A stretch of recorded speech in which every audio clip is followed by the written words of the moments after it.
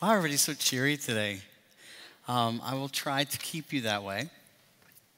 Um, so, again, I always start out by saying thanks for coming so early because I know it's arduous to, to get up this early.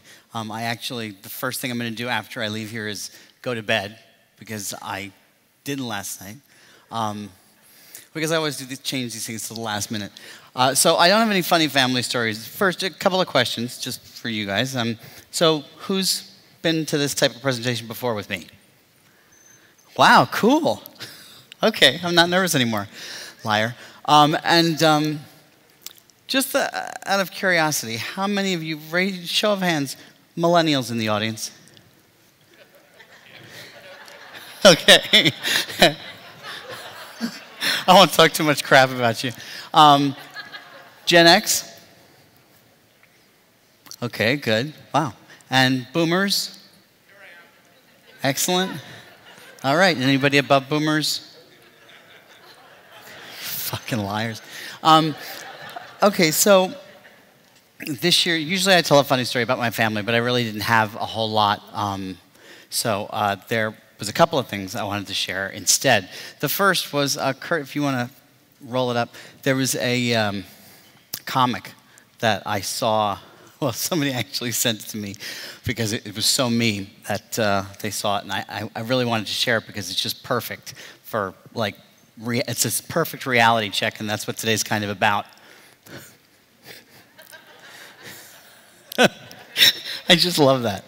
Um, so it's interesting. The audience is actually pretty well balanced, a little skewed towards boomers, maybe, but that's appropriate for the only other little story I wanted to tell you. Uh, a couple of days ago, I was talking to a buyer uh, from a, a, very large uh, US company about this presentation, and she said, uh, So, are you going to talk about millennials again? And I said, Yeah. And she said, Oh, millennials, what a bunch of assholes. it was just so funny. That was perfect. Um, but uh, I promised I wouldn't say who she was, but I told her I was going to I was going to repeat that. Um, I think today, in sum, is really um, an order to simplify. You know, um, the, the next quote I want to I wanna show you is, is sort of a, a knockoff for this. It's our kickoff, rather. Um, it's a quote by Albert Einstein. And I love it because it, it really addresses what we're trying to do today. There is so much noise about generational relevance. And I mean, I've been saying that for five years, so I obviously believe in that. But there's just a lot of noise, and sometimes it's just hard to have some sort of a simple formula that says, this is what I need to do. Somebody give me a roadmap to success or to innovation. So, what my team and I tried to do um, was to put together something where we would do just that. So, I'm just going to jump right in because there's a lot of stuff to share with you. So, we called the session, Back to Basics The Essentials of Success. And when we're all sort of sitting around table, uh, I, I, work on this project with a bunch of different trend forecasters, and um, we kind of talk about what do we think, what really matters, and let's try to forget all the words that we already know, like SWOT analysis and pestle analysis and all of these different types of analyses, and, and just say what matters most. Um, so, focus was, we came up with five words. The first was focus. Um, the second was listen to the consumer, sort of action imperatives. The third is deliver more value.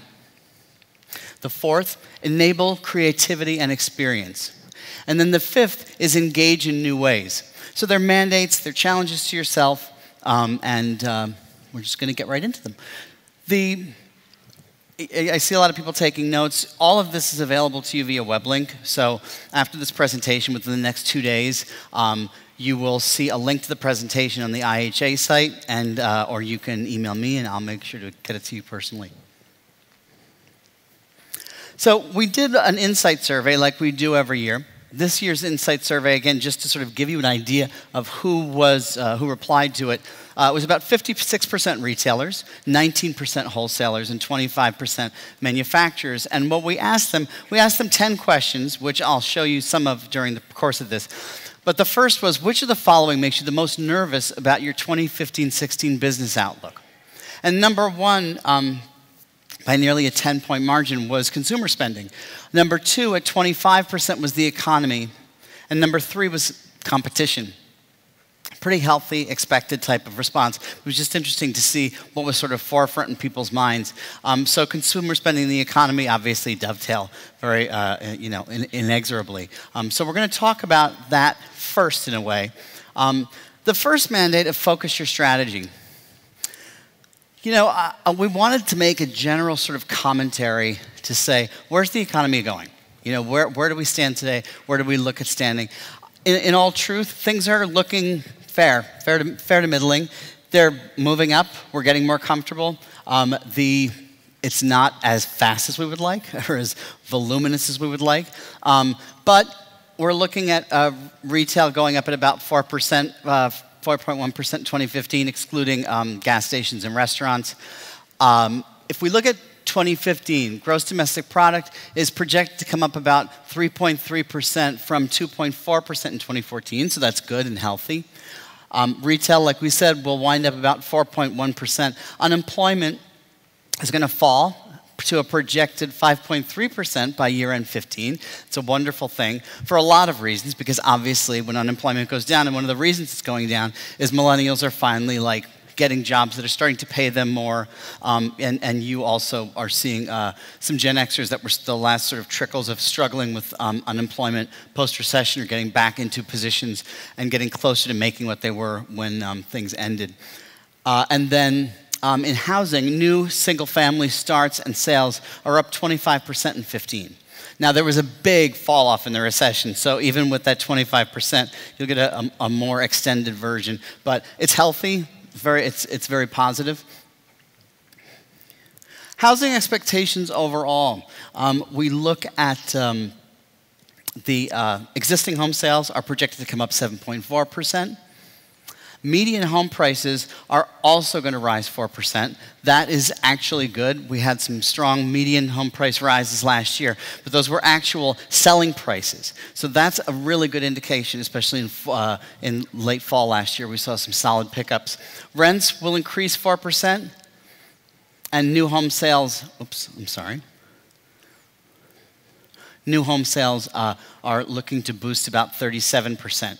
Uh, there's no question that first time buyers, um, that fall has definitely affected us, uh, but we're, we're starting to see ourselves wrestle our way out of that. And we can look at existing home sales again for some very positive indi indicators. Um, the percentage of first time buyers climbed 31% in November 2013. That's the highest it's been, and it's, it maintained uh, through uh, the end of the year. Uh, through, uh, since October 2012, which is terrific. There are more typical buyer purchases and less investor purchases, which is great because those are the buyers that you have putting money into their homes, making improvements, they're, they're you know, either you know, families or, or, or the like. Also, 32% of the homes were on the market for less than a month. That's very positive. That means that they're not sitting out there, not selling. That was a real problem a couple of years ago. And finally, distressed home sales accounted for only 9% of sales in 2014. So, again, good news. The median home price went up last year. Again, positive, especially since it crested over that $200,000 mark. Um, and uh, so, those gains are very important to us.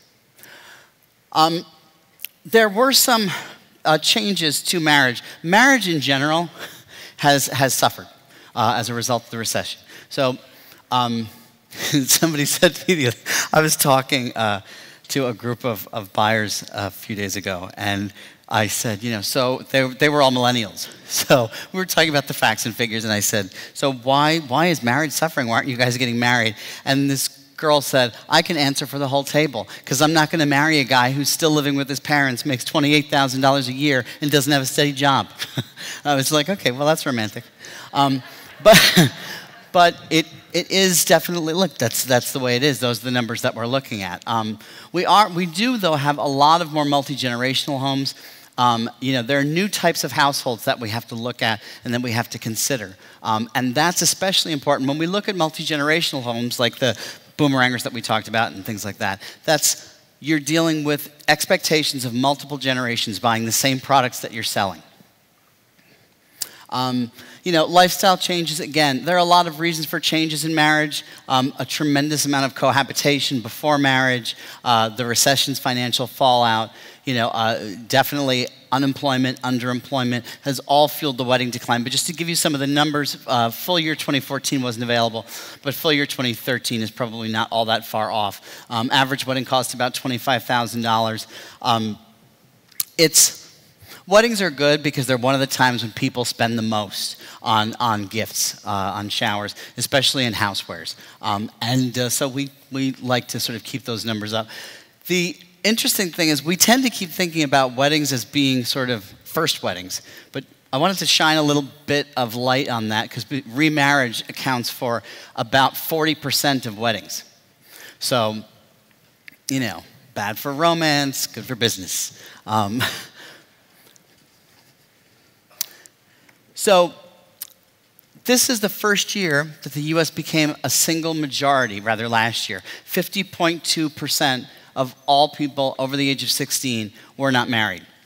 Um, and that, of course, creates some, some uh, changes in demand. But what we wanted to show here, and you should click on the video when you get the presentation um, Alibaba in China did $9 billion off of a holiday called Singles Day which only two years ago was nominal. It used to be a holiday where, like, if you were single, you and your single friends got together and had a pity party and gave each other presents, okay? And Alibaba decided to turn it into this thing where I'm single, I'm gonna buy myself some stuff because I deserve it. And they made a huge thing about it. It was all over the news. So click on the link, you can see that. I can't wait till it moves over here because now I just buy myself stuff because I want to. Um, have an excuse, it's Singles Day.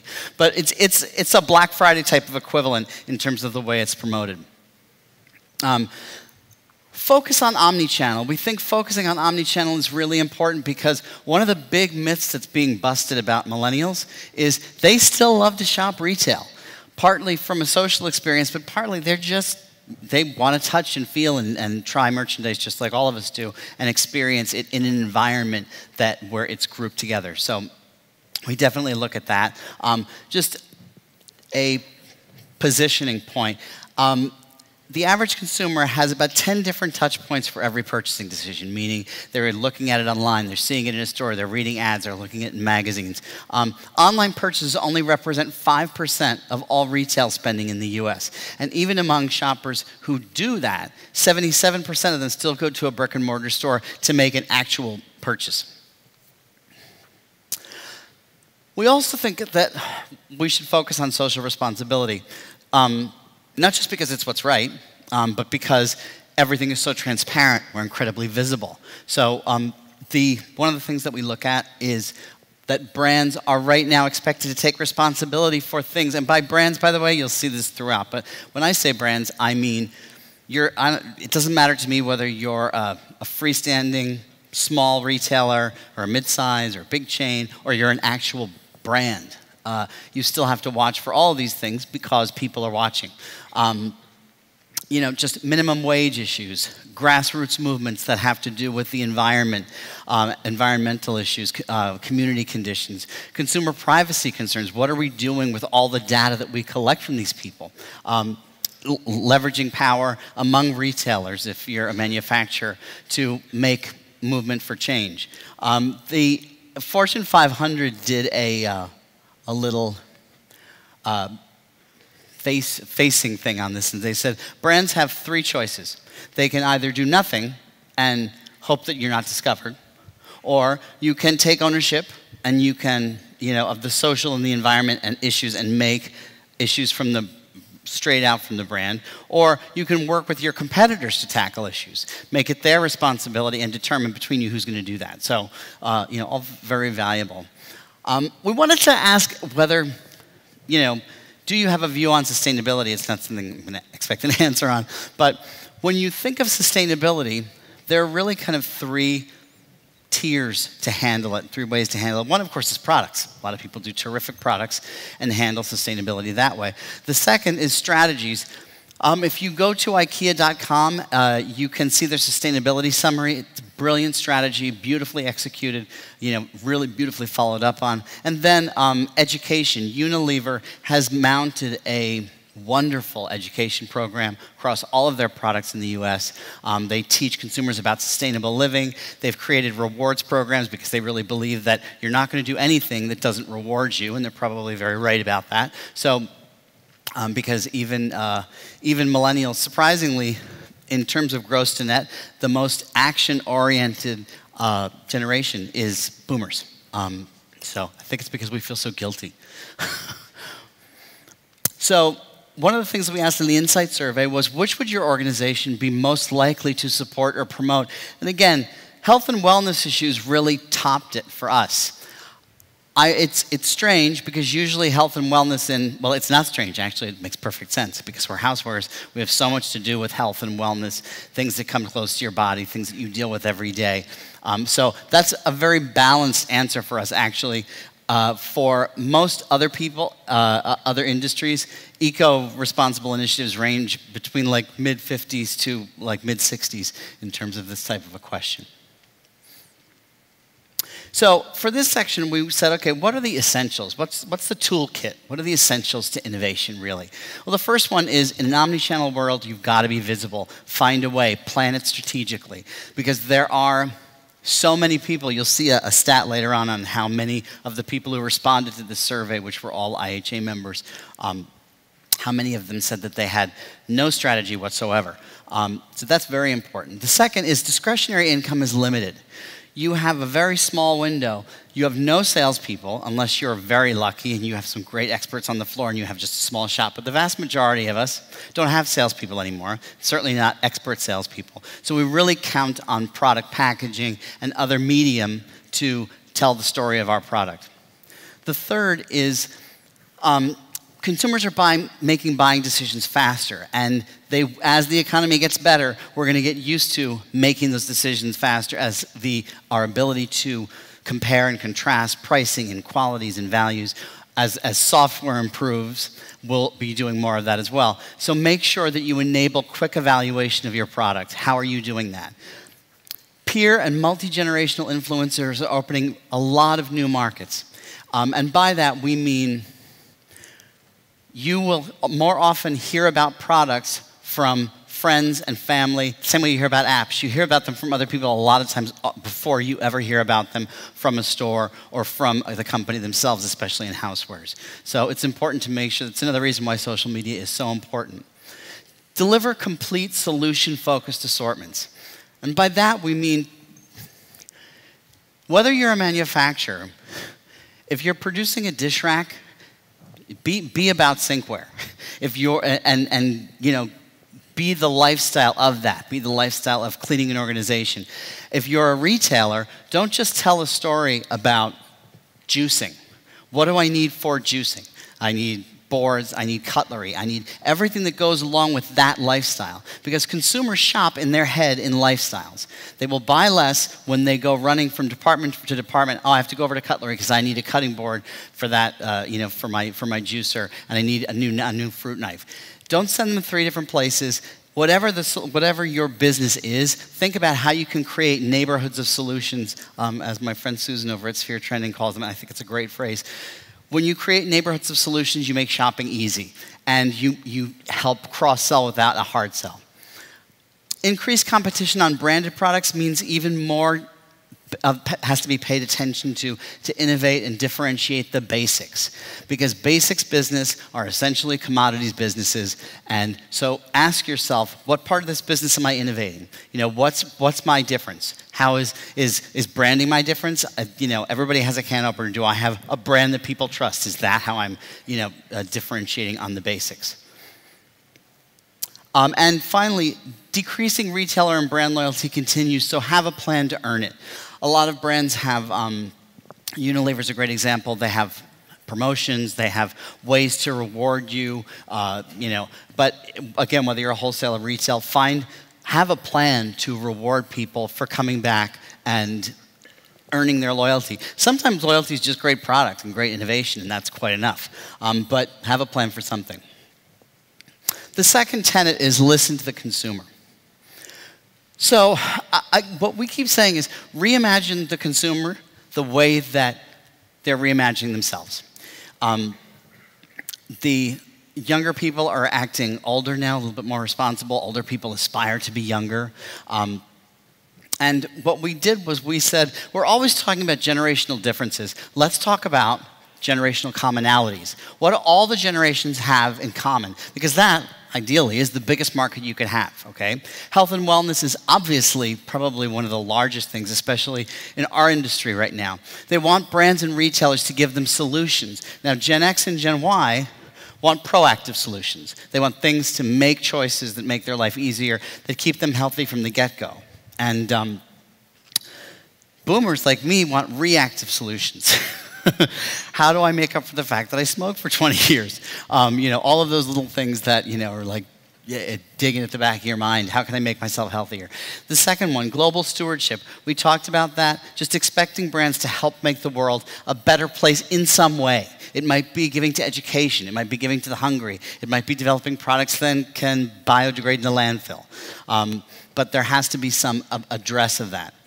Acknowledging there is a common shift in trust from mass media and what brands say about themselves to what consumers say about brands, what consumers say about products. Again, a pivotal point in why social media is important. And if you're not engaged in social media, I say this every year, go online and just Google yourself. Google your shops. Last year we asked how many people, you know, Googled them, themselves in their shops online, and about 20% of people raised their hands.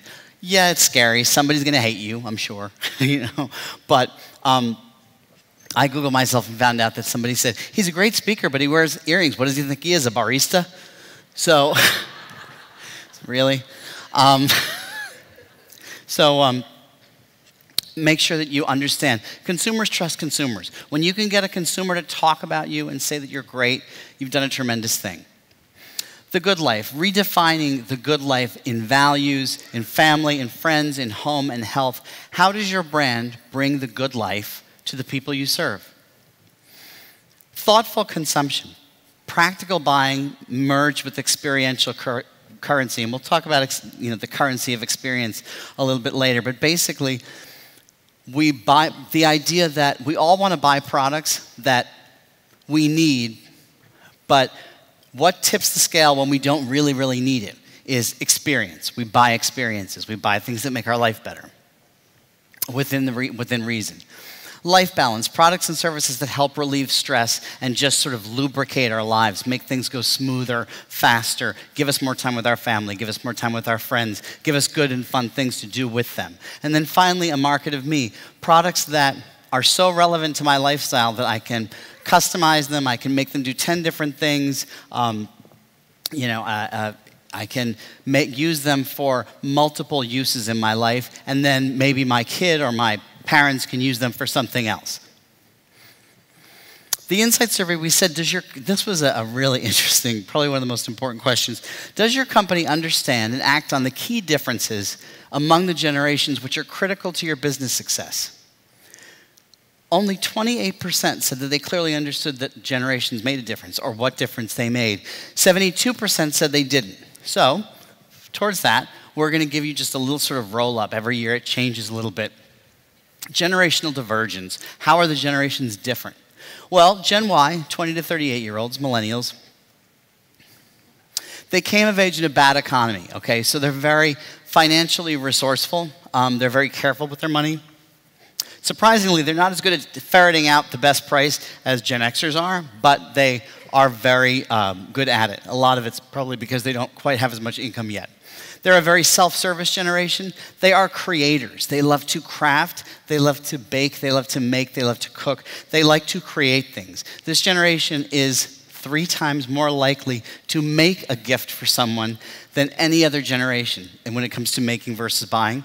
Um, they have a very communal home style. Stylistically, they like eclectic looks, they like individualistic uh, combinations. And then they are acting older, meaning they're finally starting savings, proactive well being. In fact, they're starting saving about 20 years younger than boomers did, which I think is amazing. Um, but then they can save some because the, a lot of them are, are, still living with their parents um, in the first half. I wasn't saying it to be critical. It's okay. Um, Gen X. So they came of age in a bad economy. They're very practical, they're very pragmatic. They, are, they like convenience service. They don't particularly like to pay for service. Um, they are multitaskers, and so they are very good at balancing multiple things. They are a family home. So they're the generation with the most young kids in the home. Style is very peer inspired. A lot of this generation talks about um, the effects of their uh, uh, of other people's style on them. And they are acting responsibly. They're very focused on living within their means. And then finally, boomers. They came of age in a great economy, so there is an underlying confidence that things will get better, and that really does serve a lot. They're also they are the full service customer. If they can afford it and they can justify it, they will buy the thing that's a little bit put more put together, has a few less steps, a little bit higher quality. They're curators, um, so they do compare and contrast a lot, tend to try to buy themselves the best that they can afford to buy.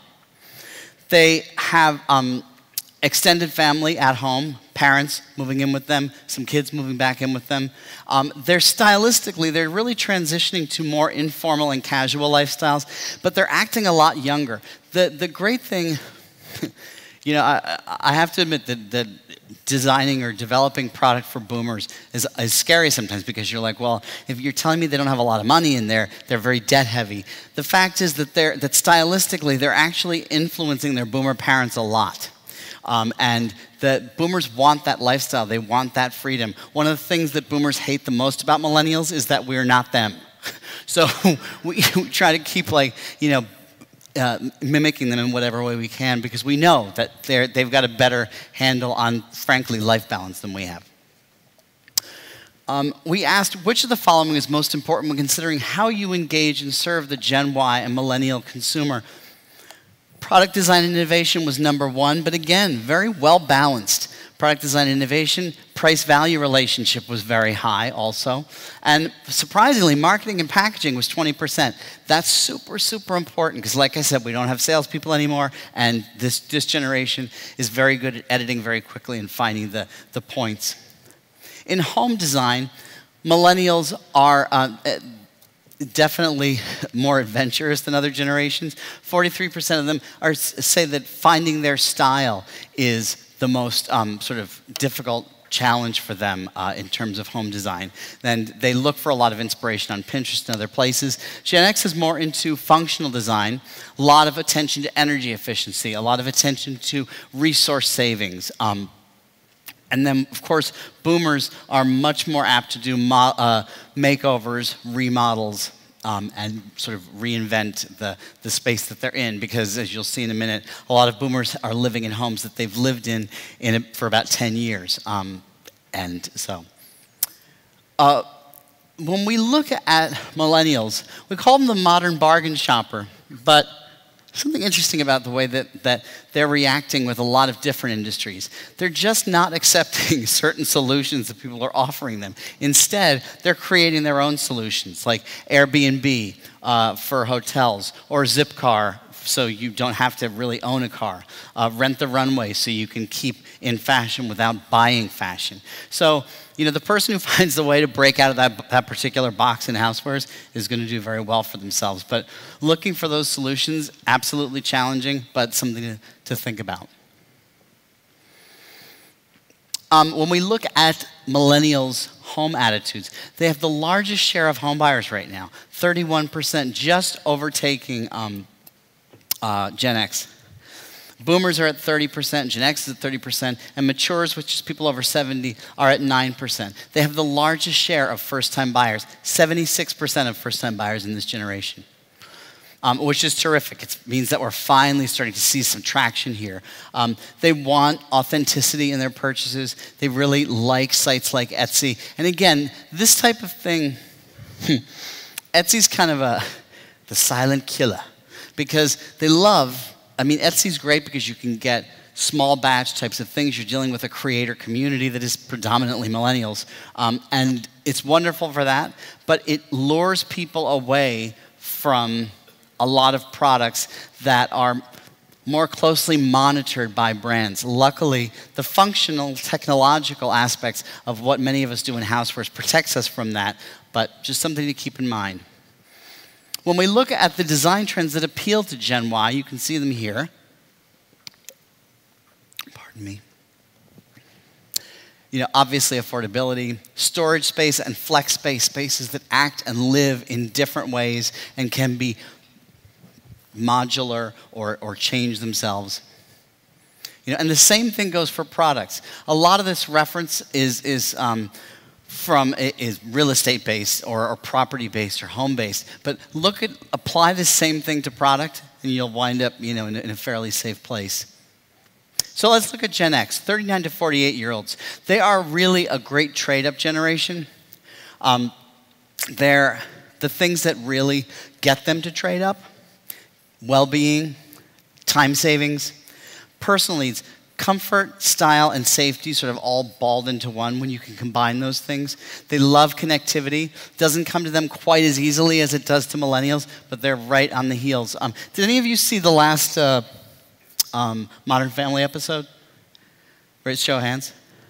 Okay, if you haven't seen it, the whole episode was Claire, mother, talking to her family on on um, the, the, entire episode was shot on iPads and cell phones. So it was brilliantly done, but it was just a, a, wonderful, literally a snapshot of the way we communicate and the way that generation is managing their family, their needs, the things that they have to do through these devices that they're holding in their hands.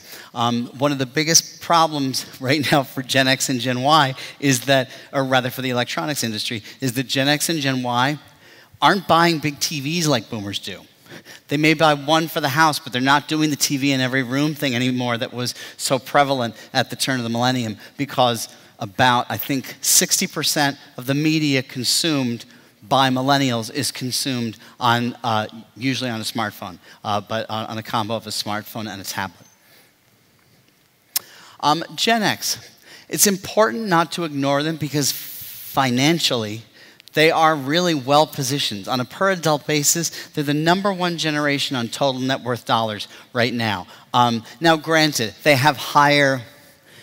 They have some somewhat higher debt loads, of course. Their, their houses aren't necessarily paid off, but you've got a, a, really fertile market here for upgrading. They're careful about how they protect that money, um, but it's uh, when you look at the share of total income dollars, look at how close Gen X is to boomers and those income dollars are just going to climb. They should even out. You should see them uh, probably right neck and neck within the next two years.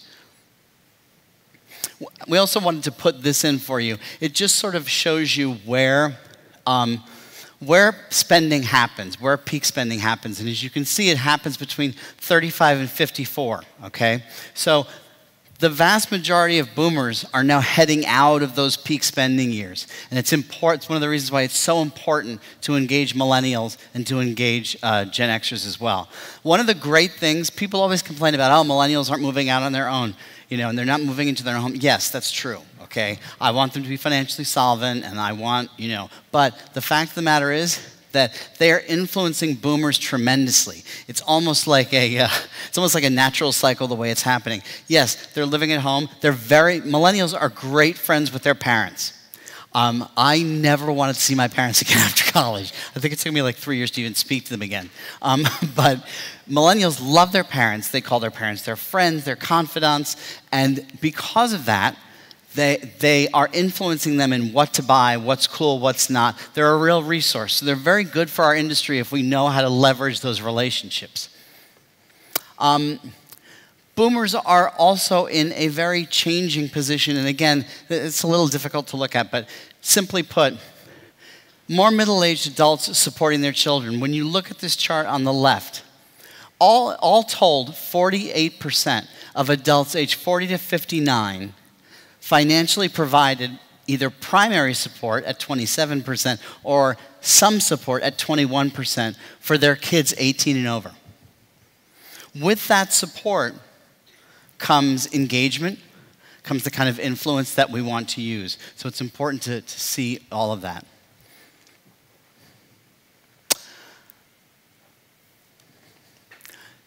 Boomers also, you know, Gen Y has size, although it's only 82 million versus boomers 80 million. Um, and um, Gen X has a bigger household income, matures have accumulated wealth, but boomers have all three. Two thirds of boomers are going to have an estimated inheritance of $8.4 trillion. Um, and about, I think, I'm trying to remember the figure, but it's, it's somewhere about, I mean, maybe 3 billion of that has already, or 3 trillion of that has already happened. But most of them plan to retire in the home that they're in which is terrific for us because it means they're redoing their kitchens, they're redoing their bathrooms. Kitchens and bathrooms are consistently, for all generations of home buyers, the primary focus right now. Um, so 39% plan a major home improvement in the next three years.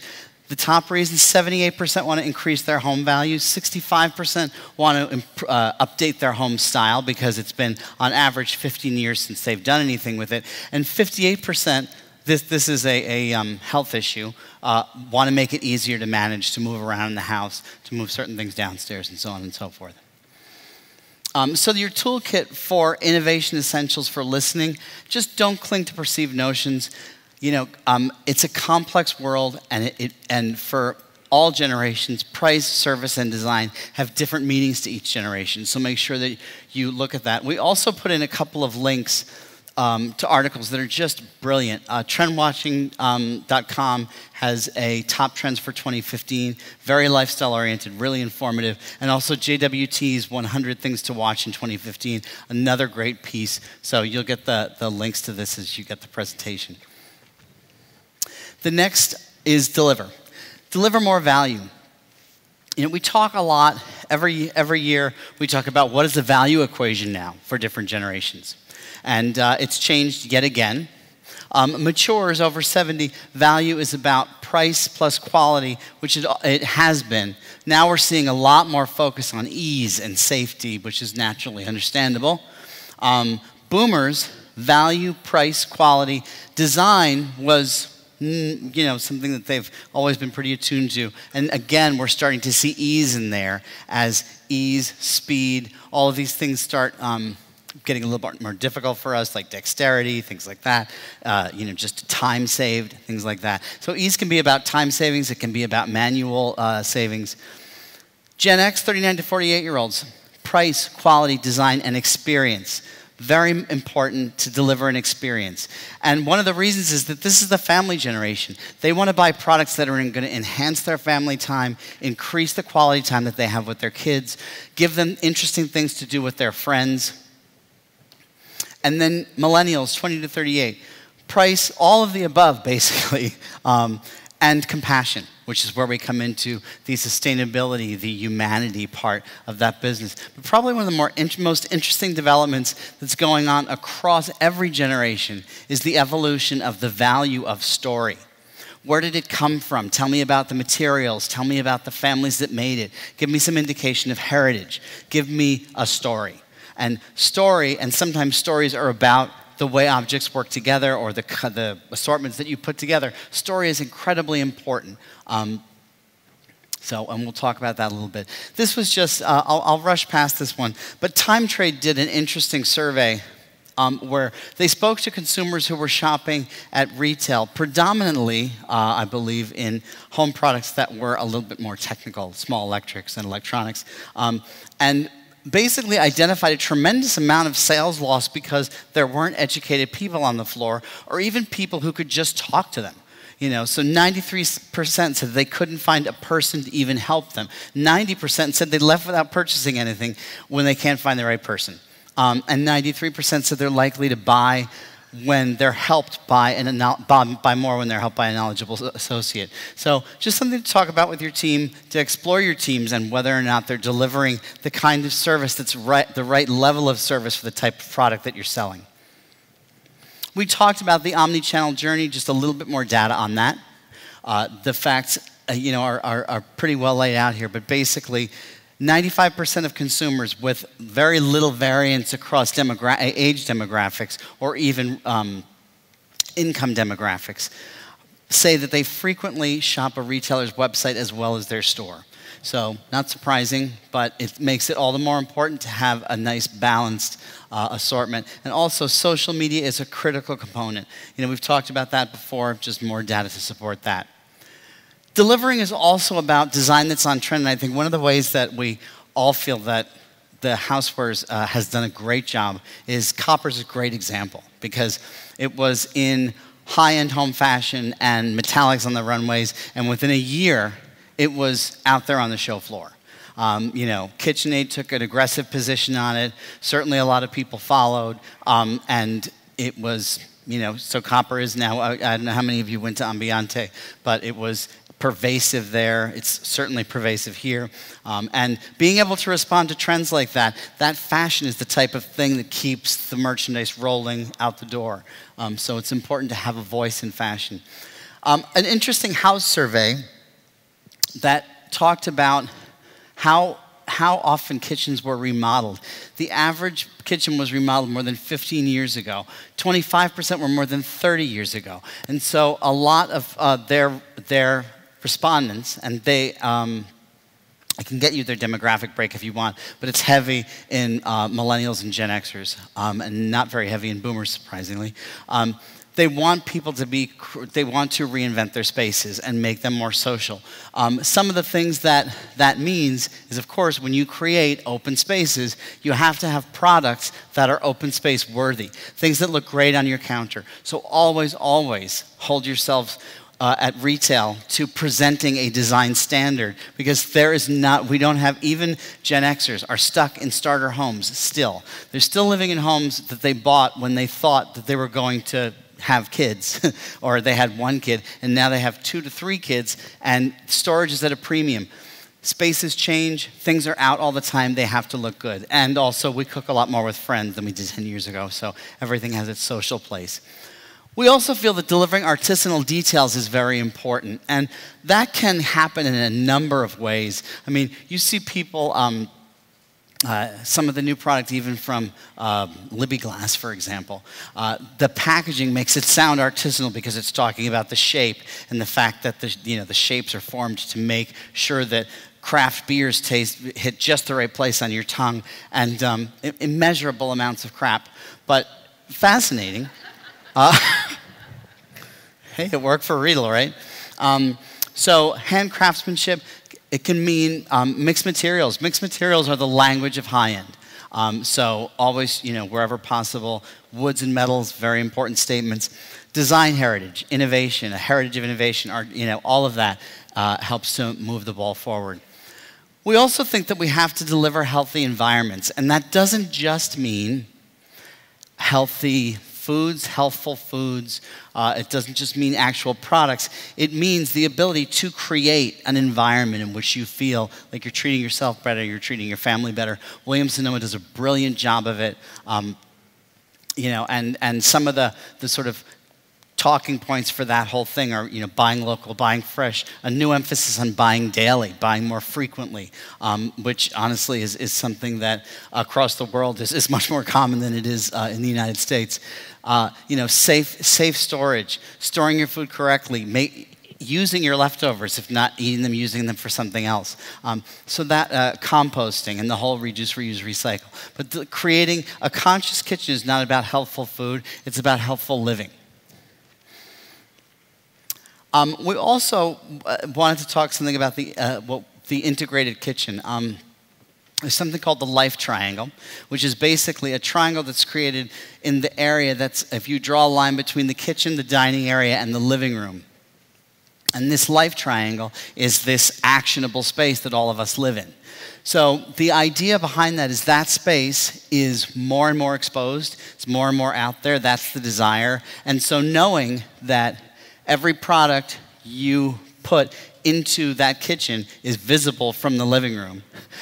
What is that, what is, how does that change the way you develop, the types of products you develop? Um, how does it change the aesthetics? Um, also, bigger isn't better. You know, we were, uh, this was um, something that um, how, another house survey that 77% of people, um, uh, it said most people don't want a larger kitchen, but they do want a feeling of space. So that means that we're going to be seeing even more islands because islands create that effect. 77% of those people say that their kitchen are going to be open to other rooms, and 61% say that they're going to incorporate an island. We also believe in delivering social experiences. Um, IKEA did a home survey. It's actually, you can, you can see it online, it's really interesting. Um, but basically, they said that 45% of consumers say that they spend leisure time in the kitchen. Um, 35% send, 35% spend social time, and 11% send hobby time. So the kitchen is, as we've been saying, it's a very social space, making sure that we address that, give people new ways to look, and create social experiences around things that they like to do. Um, flexibility. Flexibility in product is critical, especially as space, you know, things that get smaller, things that compress, things that multifunction. So you'll see a lot of that. I love this woman. Um, so, what do people really want? The value of convenience. Deliver more time. Deliver the. One of the things that we keep seeing coming up in, in all of these surveys is I want to spend less time in the kitchen. Consumer Reports did a survey and found that the average uh, person wants to spend eight minutes less in the kitchen in, uh, uh, in food preparation every day. In food preparation every day. So products that save time are always going to be, you know, just really wonderful. Um, not because it's lifetime, but I really do love this product. These knife sheaths that sharpen the knife every time that you take it out of the sheath. It's a brilliant idea. It's a time saver. It's one less thing that you have to do. So those types of things that really take you know, uh, quality of life into consideration.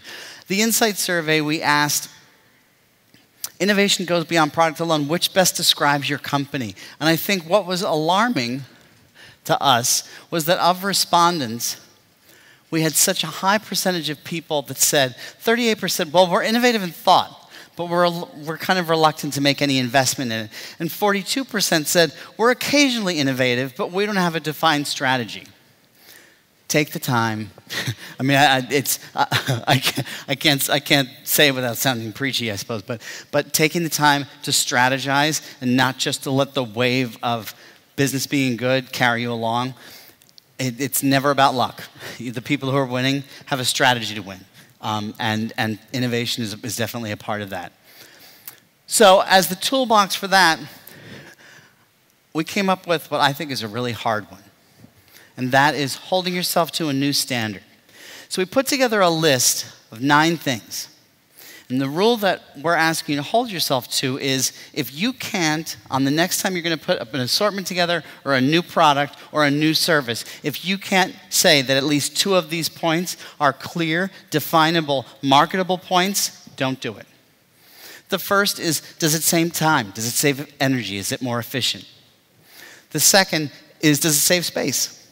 Is it more safe? Is it functionally better? More features? Is it more durable? Is it better in design and style? That's something out on the market. And again, this is clearly different. Is it delivering improved experience and improved living experience, improved results? Does it deliver knowledge? Does it deliver new skills? One of the things I love about KitchenAid is they have online support for it, but every new introduction they make seems to deliver new skills, deliver new abilities. Um, does it deliver an ethical advantage? Um, sorry, I just jumped past that. It's, it's a hard list, there's no question, um, but we really believe that if you can't check off a couple of things on here, it's just, it's just an also ran. I hear a cricket. I really hope that's somebody's phone. Um,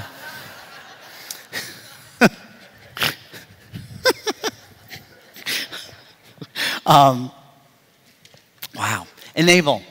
So, enable creativity and experience, one of the last tenets, and that is deliver important knowledge to consumers. Consumer, the more we cook at home, the more we experience at home, the more all of these things become competitive, the more concerned we are about safety, the more important it is to inform people, to give them knowledge. Um, there are some companies, uh, uh, one comes to mind that's not here. You can find them at uh, bosca.com, B O S C A. This is a company that is passionate about cheese. They're a company from Holland.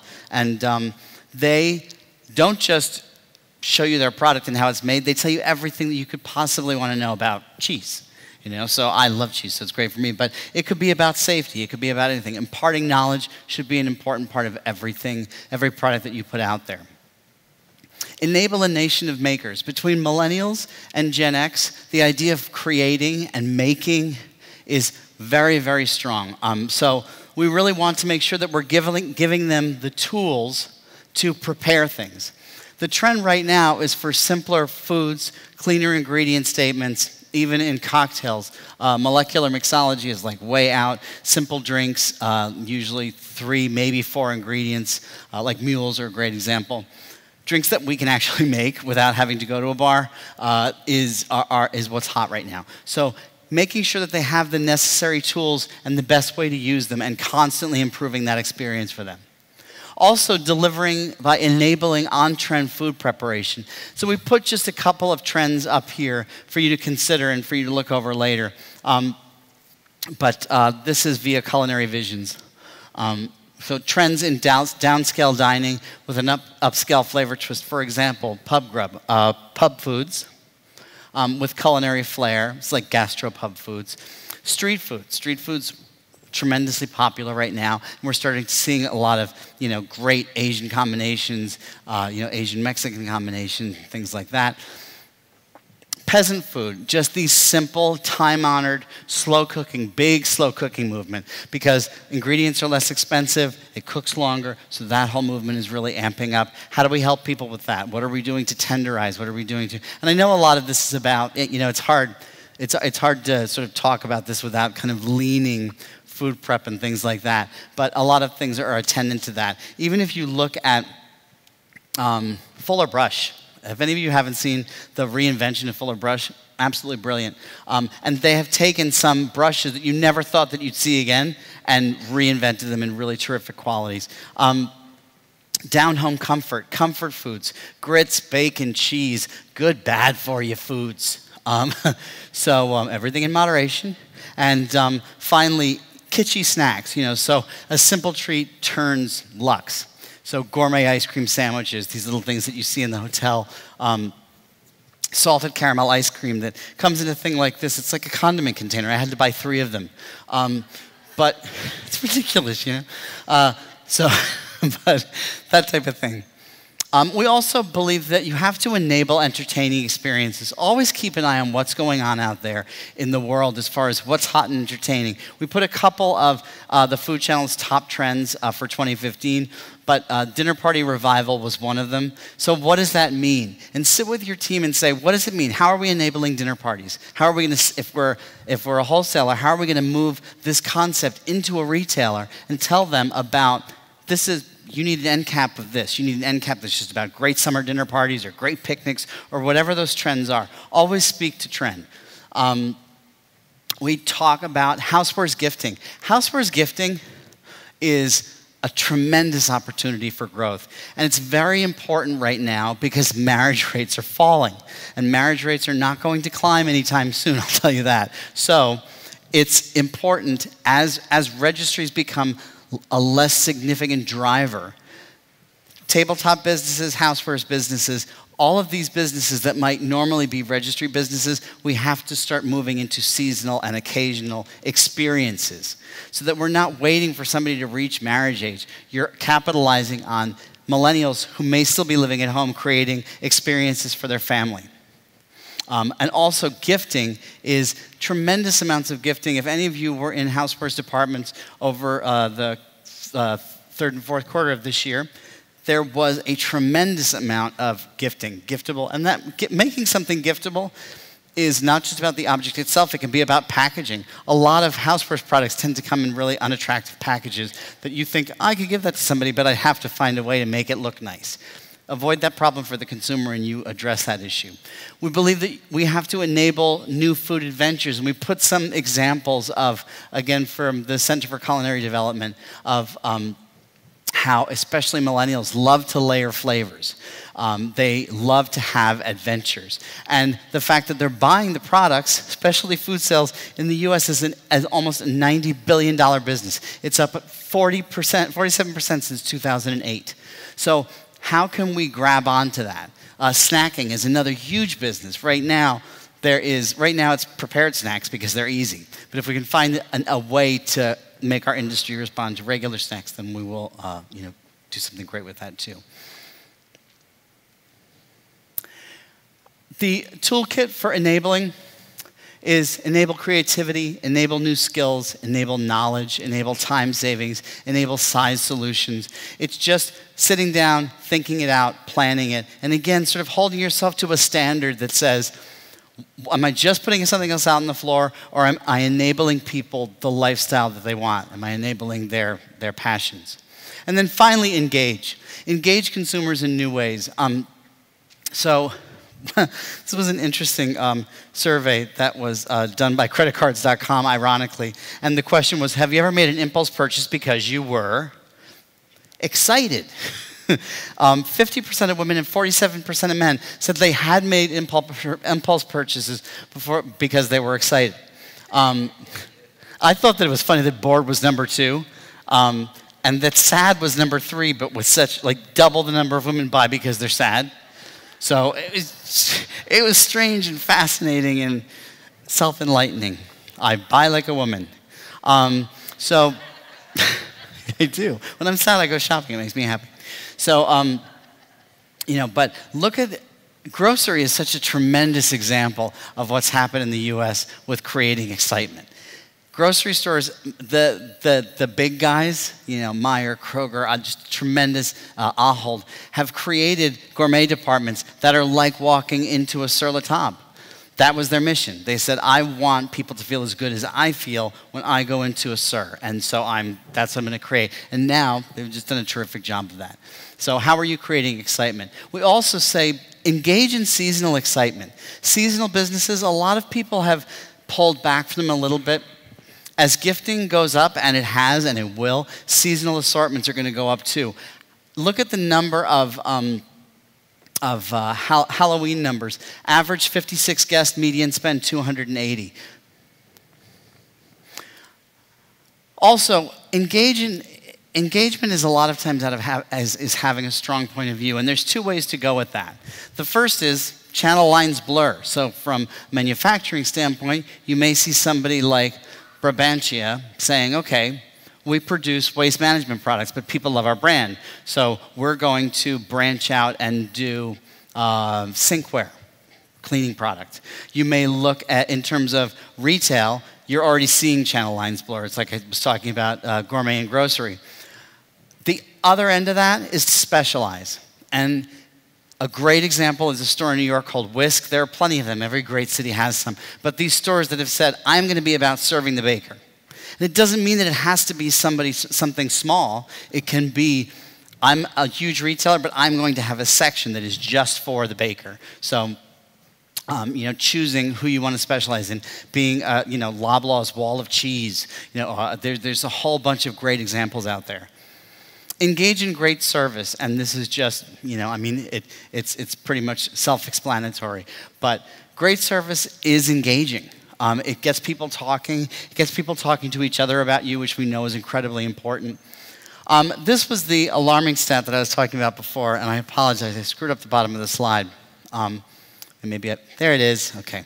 So how developed is your social media strategy? Only 16% said it was really highly strategized. 64% said it was somewhat strategized, but and not fully executed. Time is running so fast.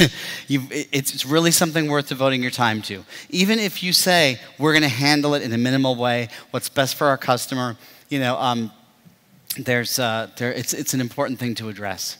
And as a part of that, we wanted to say, okay, what do millennials expect? I'm not going to read through this for you, but it's just a, it's a list of what millennials expect to be able to do with brands' use of technology. They want to know where your store is. They want to see be able to compare prices. They want to, you know, um, uh, be able to pay th- for things mobilely. So it just gives you a list of only things above 40% of what they expect, the top 10 items, um, so that you know that whatever your effort is is directed towards them correctly.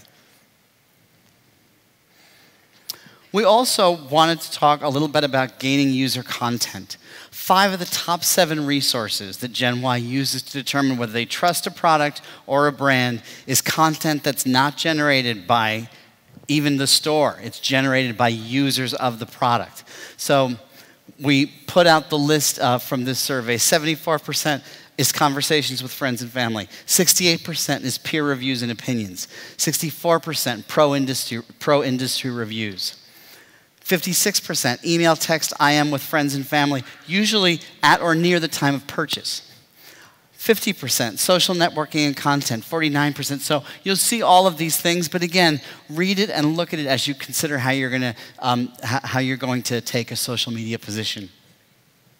Um, it's interesting because they multitask. Gen Y can consume 18 hours of digital media in a given day.